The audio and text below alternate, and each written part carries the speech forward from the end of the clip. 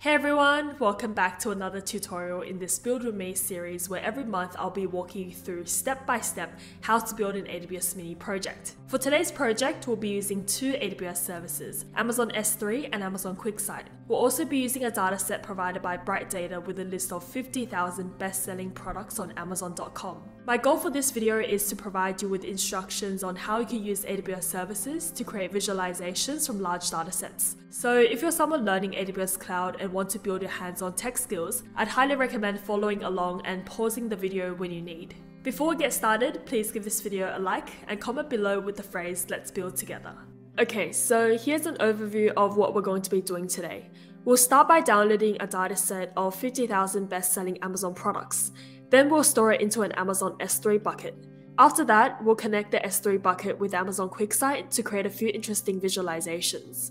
Now let's jump straight into it and download the dataset. To do this, head over to my GitHub page where I have stored a copy of the dataset. You'll need to download this CSV file named amazonbestseller.csv and also this JSON file named manifest.json, which will be used later for QuickSight to access the S3 bucket. So click on each of these and press download. And press Ctrl S to save it into your downloads folder. We're going to do the same thing here for the manifest.json file. So click raw, Control S, and then press save. And you can see now that I have both of these files in my downloads folder. By the way, I want to quickly show you where I got this data from. We're actually using a subset of data from a huge data set that was provided to me by Bright Data. If you haven't heard of Bright Data before, they're a leading data collection company that collects public web data at scale. They have web scraping tools in their IDE as well as ready to use datasets. The reason we're using Bright Data is because we need a data source, and in my projects, I try to find real life data to keep things interesting. As you can see here, they provided me with 11 gigabytes of data, showing a list of the Amazon bestseller products. And this is pretty cool because normally I would have to manually scrape the data from the Amazon.com website and then clean it up before using it. But since they provided us with the dataset, we don't have to worry about the web scraping part. So in the future, if you ever need a large set of data, I'd recommend checking out Bright Data and requesting a dataset from them. I'll leave a link in the description below with a discount. Alright, now that our dataset has finished downloading, let's move on to the next step, which is to store it in an Amazon S3 bucket. For this next step, let's head to the AWS Management Console and type in S3. Once you're on the S3 console page, click on Create Bucket.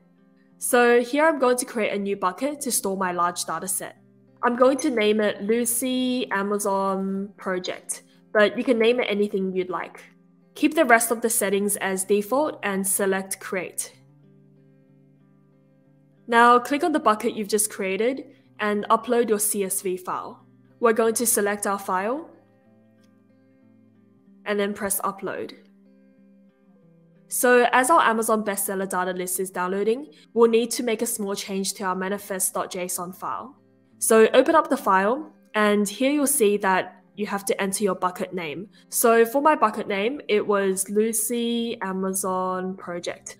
So just remember to change the bucket name section with the name of your own bucket. Alright, as you can see here, the Amazon bestseller dataset.csv has been uploaded. But what we have to do now as well is also to upload the manifest.json file.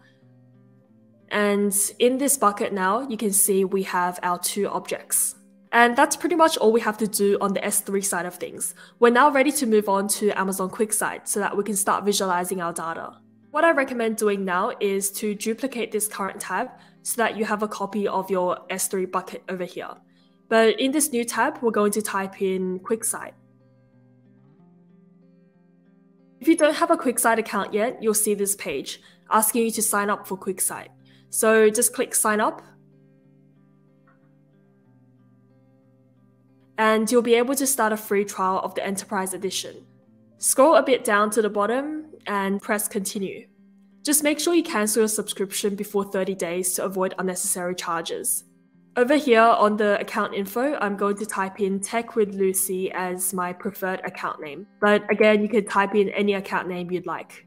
I'm also going to type in my email address. And as we scroll down a bit, make sure you select the S3 bucket that you want to link to QuickSight. So click on your S3 bucket and then finish.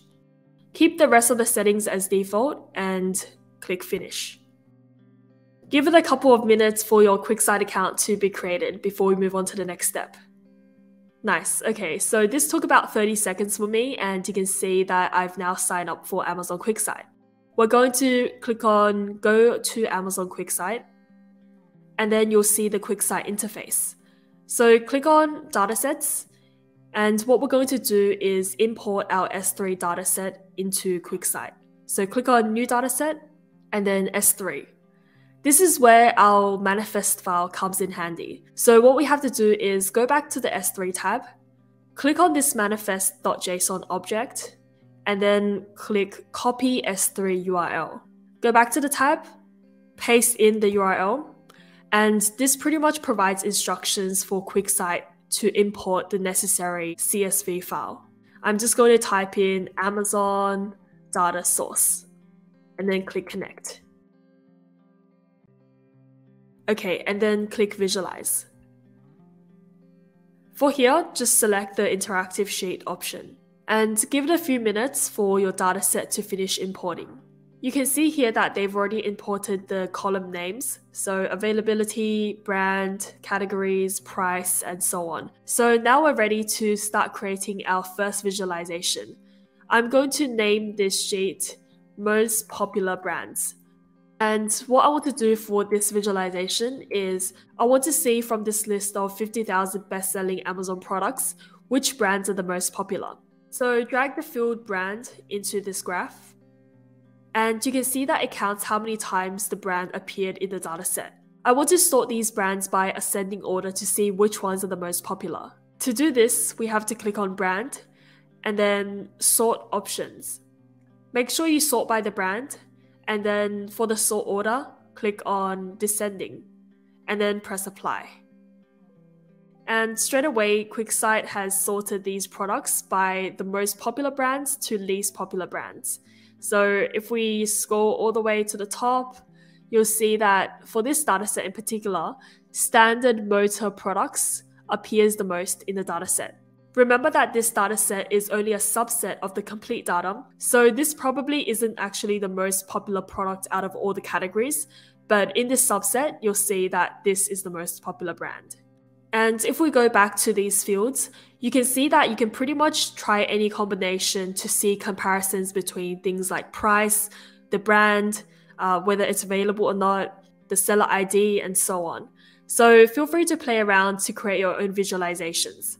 QuickSight actually lets you create a lot of different types of graphs. So you have bar charts, donut charts, uh, pie charts, and uh, even word clouds as well. So yeah, you see here that there's a few different options. Here are some examples of additional visualizations to create.